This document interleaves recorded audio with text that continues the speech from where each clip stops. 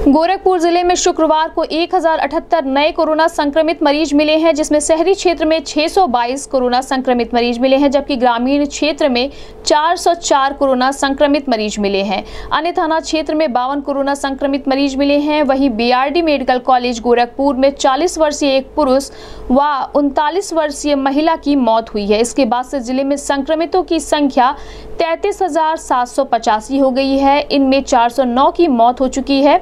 पच्चीस हज़ार इकतालीस लोग स्वस्थ हो चुके हैं जबकि एक्टिव केस 8,335 हो गए हैं। इस संबंध में सीएमओ डॉक्टर सुधाकर पांडे ने लोगों से विशेष सावधानियों को बरतने की अपील भी की है। दो गज की दूरी मास्क है ज़रूरी सामाजिक दूरी का करे पालन अपने और अपने परिवार को बनाए स्वस्थ और सुरक्षित। सीएमओ डॉक्टर सुधाकर प्रसाद पांडे ने बताया कि इस बीमारी से बचने के लिए विशेष सतर्कता बरतनी होगी और लोगों को भीड़ भाड़ से बचते हुए मास्क का इस्तेमाल करना होगा। जब तक कि कोरोना की वैक्सीन सभी को लग नहीं जाती, तब तक मास्क ही सबसे बड़ा हथियार है।